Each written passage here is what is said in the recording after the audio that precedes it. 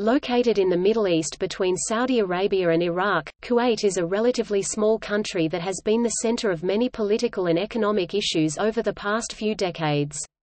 These problems include corruption of the Kuwaiti government by many terrorist organizations and domestic violence to maintain the status quo of the oil industry elite.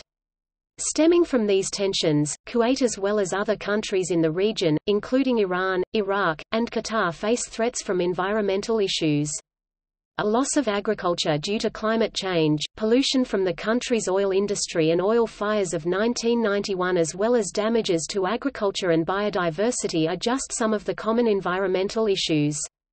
The Kuwaiti government has worked to mitigate and adapt to these issues through policy and the creation of agencies to research, educate and inform about environmental problems, their sources, and their effects.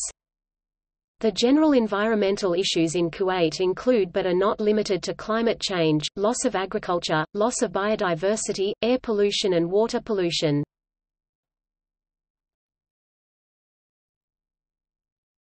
Topic: History of environmental issues in Kuwait. These environmental problems have impacted Kuwait individually as well as affected the country in coordination with each other. In light of the Gulf War, the Kuwaiti government, recovering from environmental as well as economic destruction, conducted research to learn more about these environmental problems including their sources effects, and possibilities for interconnectedness. A council of Kuwaiti researchers not only determined that the oil fires of 1991 caused a significant increase in aggregate air pollution but also killed species of animals as well as polluted soil and water sources that have long-standing implications. The same researchers determined that policies reversing these damages have limited effectiveness and feasibility given a lack of technology to clean air and water sources, as well as the permanency of species extinction and certain kinds of pollution. Kuwait, rather than dedicating time and money to cleaning up its depleted environment and ecosystems, focused on rebuilding its economy by subsidizing production costs for oil companies as well as cutting imports costs for countries buying oil. This dependency on oil drilling and exportation exacerbated a number of environmental issues including pollution and climate change. During the United Nations Framework Convention on Climate Change UNFCCC, as well as the Kyoto, Copenhagen and Paris Conventions, developed and developing countries scrutinized Kuwait for perpetually ranking among the highest contributors of greenhouse gas emissions while rebuilding its economy and disregarding global efforts to mitigate climate change and address renewable energy sources that would cut pollution and negative agricultural effects. The ultimate justification for this scrutiny was the fact that Kuwait ratified UNFCCC in 1995 and the Kyoto Protocol in 2005, expressing systematic concern for environmental problems but made no tangible policy progress to address these problems. In recent years, as the global community has become more aligned on environmental issues, Kuwait has taken steps, domestically and internationally, to address the country's environmental problems by enacting policies to regulate oil production and creating government bodies to regulate industries and policy effects, such as its own Environmental Protection Agency. Additionally, Kuwait has been more involved in international agreements, submitting an intended nationally determined contribution (INDC) during the Paris Convention, the first substantial climate change reform Kuwait had ever committed. However, continued stagnation regarding environmental issues continues to taint Kuwait's global image and pose significant health consequences for humans and non-humans.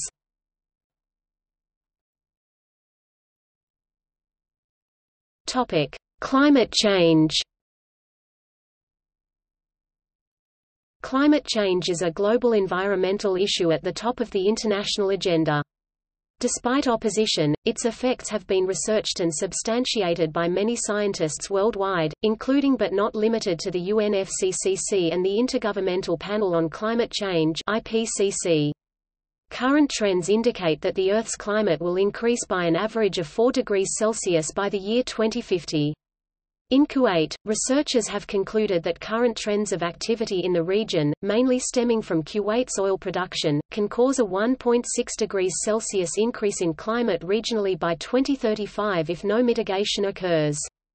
Other effects from such an increase in climate include A decrease of approximate 2 mm per year in rainfall by 2035 exacerbating droughts. Increases in dust storms. A rise in sea level along coastal regions, threatening urban infrastructure, lagoons and salt marshes. Topic: Climate Summit participation. The three global climate summits Kuwait has participated in include the UNFCCC Rio, the Kyoto Protocol, and the Paris Agreement. As part of the UNFCCC, Kuwait committed to joining a global coalition to achieve a 2 degrees Celsius increase in the world's climate from pre-industrial levels by 2020. However, the country hadn't submitted any formal plan to managing or reducing levels of greenhouse gas emissions. Weak commitments, cornerstoned by expensive pledges from developed countries, the UNFCCC served a greater purpose as an educational, focusing event around the issue of climate change rather than an event resulting in mobilization. During the Kyoto Protocol, Kuwaiti delegates blamed the United States and the United Kingdom the environmental damages and fallout from the Gulf War again focused on a top-down approach to gaining strong, financially based commitments from developed countries. Much of the developing world was not obligated or urged to join the global force. While Kyoto was regarded as a failure in creating a comprehensive agreement regarding climate change, Kuwait began to take steps towards mitigating climate change in hopes that visible mobility might garner a change in public perception as well as financial aid from the developing world. The most significant of these mitigation policies was the commission of a Kuwaiti Environmental Protection Agency for the research, education, and creation of policy to address environmental issues, namely climate change. Between the Kyoto Protocol and the Paris Agreement in 2015, many climate summits occurred including the conventions in Cartagena, Bali, and Copenhagen. However, Kuwait, while present, took no significant action or leadership in mitigating climate change on a global level. Domestically, many policies and regulations were greatly debated to no success, but this was a profound visibility change that was perceived as general stagnation. In 2015, Kuwait was again scrutinized about its consistent rank as one of the top contributors to greenhouse gas emissions.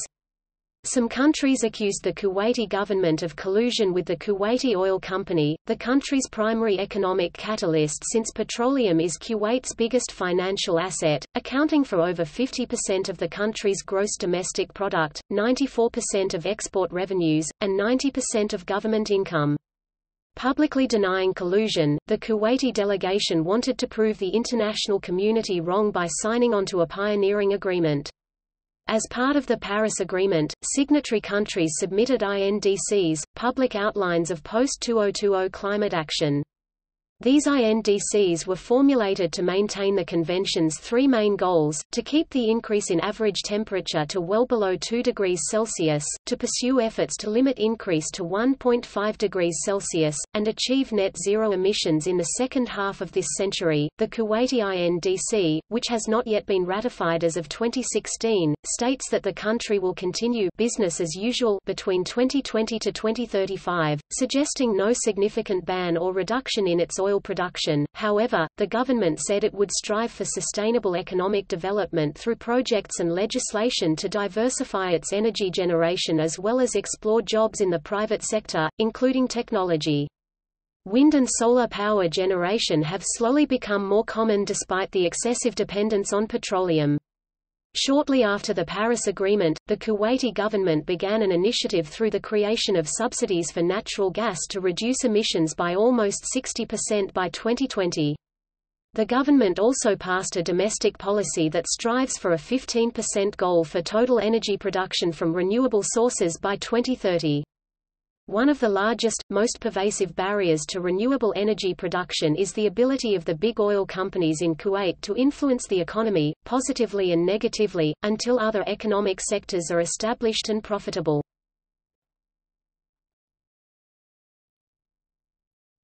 Topic. Adaptations to climate change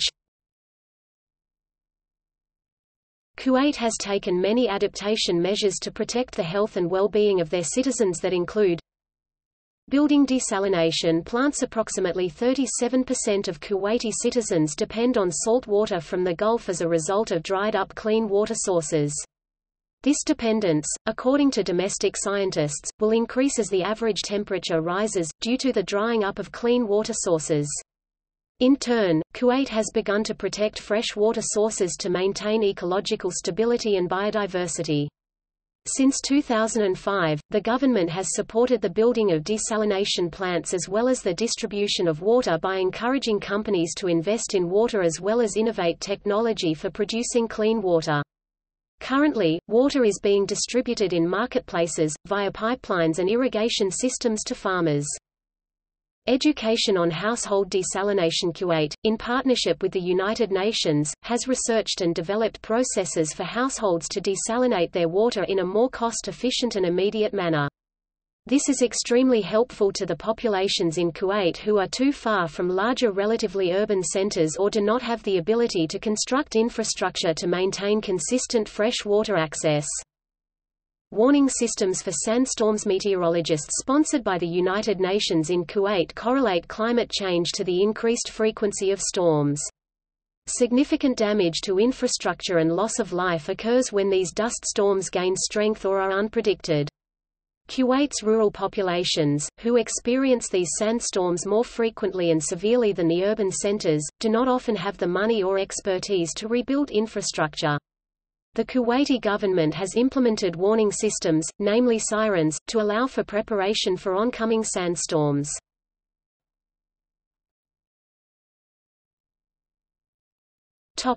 Air pollution Kuwait's oil industry produces significant amounts of pollution from burning fossil fuels while drilling or fracking and in the process of exporting and storing oil. The country houses large oil wells that are always tapped and refilled. These oil wells are large portions of land that serve as fuel pools until the company is ready to use or export the stores. United Nations researchers have not been able to accurately measure the amount of pollution that resulted from the oil fires, however, research indicates that have been irreparable damage to the climate as well as ozone due to the fires. The problems arising from the oil fires in coordination with continued air pollution as a result of oil production include Damage to the health of Kuwaiti citizens Pollutants released from the fires spread throughout Kuwait as well as the region, causing inhalation of ash leading to a significant rise in asthma, bronchitis and other illnesses leading to shortness of breath and death in some cases. This posed a systematic problem to countries' economy since people spent more on healthcare as well as take time off from work. As air pollution continues, the Kuwait government has observed a rise in illnesses not only amongst those working in the oil industry but also especially around areas where oil is drilled or fracked and stored. Damage to the health of non-humans Many animals in the region, including birds, rodents, and snakes were killed by the fires, leading to the endangering or extinction of species. Domestic and international researchers are uncertain of the effect of air pollution on non-humans but have concluded that increases in air pollution are causing disease and illness amongst animal and plant species around oil centers or who are being disrupted for the building of oil sites.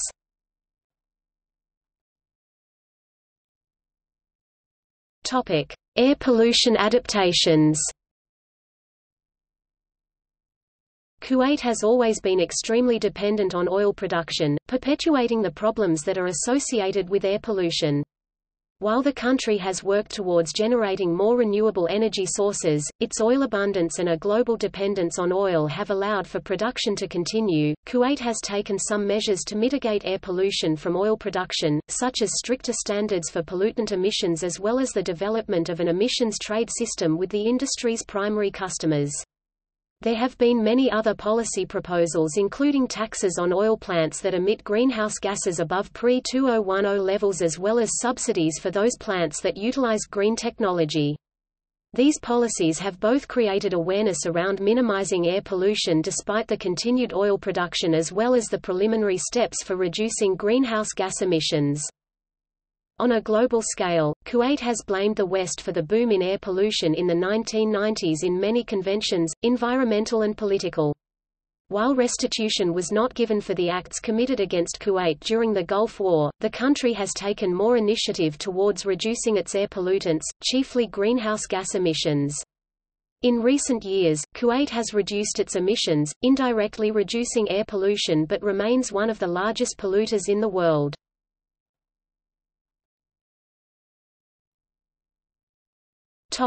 Water pollution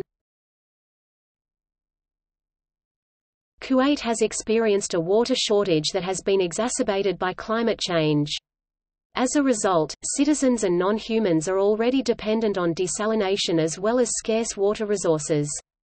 This makes the equilibrium for sustainable water delicate. The Kuwaiti oil fires, in addition to continued pollution from the oil industry, not only threaten water quality but also have made some water sources unusable.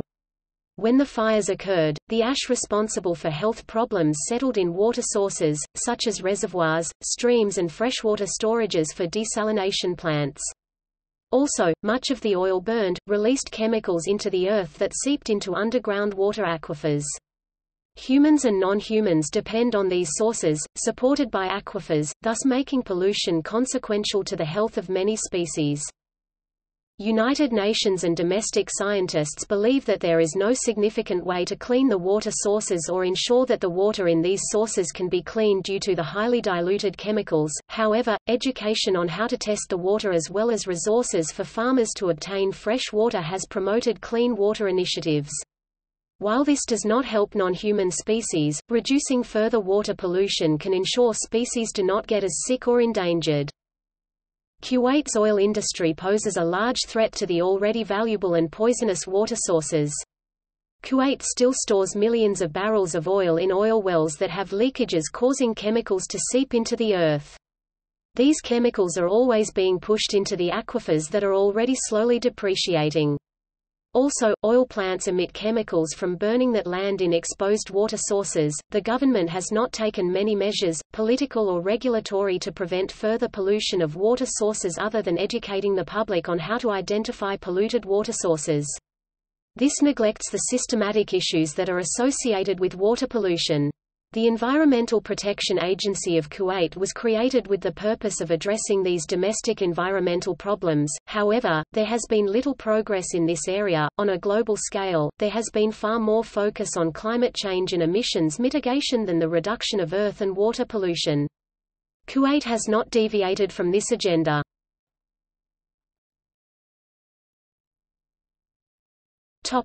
See also Gulf War Kuwaiti oil fires List of environmental issues Climate change Kuwaiti Oil Company United Nations Framework Convention on Climate Change Intergovernmental Panel on Climate Change